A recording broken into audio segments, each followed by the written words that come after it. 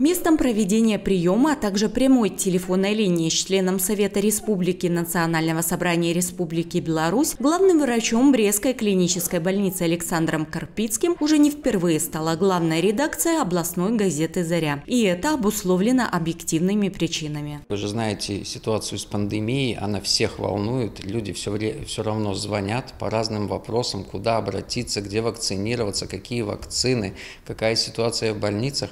Вот эти все вопросы, они постоянно поступают в редакцию, поэтому как минимум раз в год мы такую прямую линию с главврачом областной нашей клинической больницы проводим.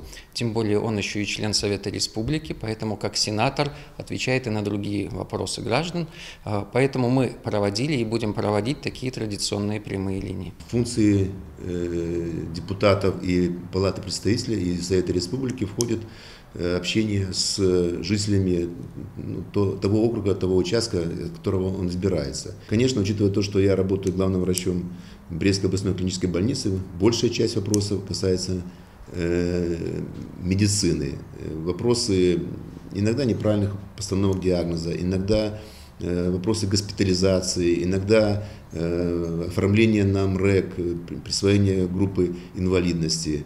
Вот. Ну, Примерно э, половина, а может большая часть этих вопросов медицинских мы решаем, как я говорю, сходу. Действительно, брещане жители Каменецкого района интересовались разрешением спорных ситуаций, вопросами личного характера и местного значения. Однако не только в медицинской сфере.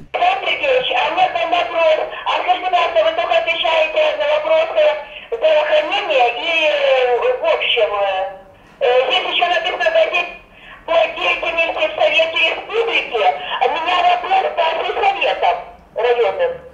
Да, слушай. Давайте. Обращения поступали непрерывно, но ни один вопрос не остался без ответа. Интересовали граждан и планы развития Брестской областной клинической больницы, а также закупка современного оборудования. Ведь за год ее пациентами становится до 36 тысяч человек. Сейчас проводится конкурс, я думаю, где-то ну, 2-3 месяца мы приобретем эмиссионный томограф. Это томограф, который предназначен для радиоизотопного исследования э, организма, органов организма. Вот, из, из такого, из большого оборудования. Кроме того, мы вступили и начали ремонт одного из отделений, отделения челюстно-лицевой хирургии.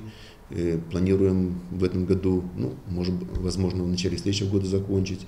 Мы проводим ремонт четвертого этажа вот, консультативной поликлиники, о которой я говорил. Э, мы заканчиваем ремонт э, двух стоматологических кабинетов, поменяли там оборудование, мы на месте не стоим. Всего на горячую телефонную линию обратилось порядка 10 человек. Двое получили разъяснение по тревожащим вопросам в ходе приема граждан.